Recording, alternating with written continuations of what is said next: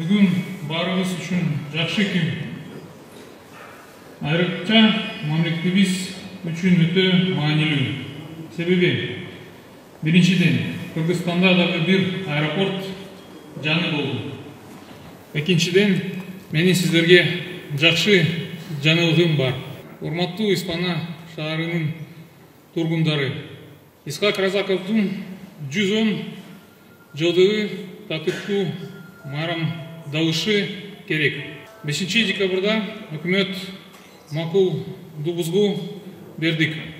Ушул аэропортко мамлекеттик ишмер улуу инсан исхак разаковдун ысымы берилди.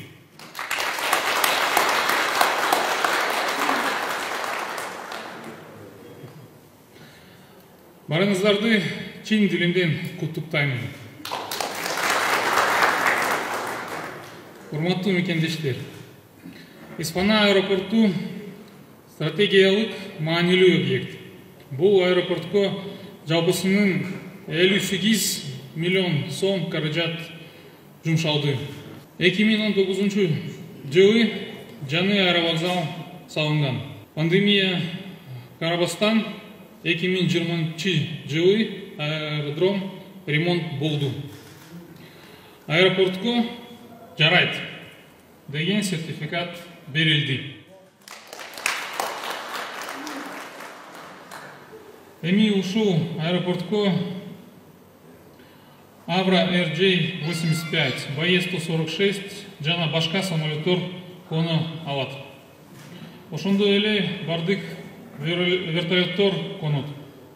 Испана аэропорту кырк беш жылдан ашык иштеп жатат дагы көпкө иштейсиң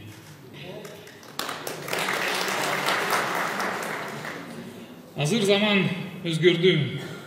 Планета глобалдашты.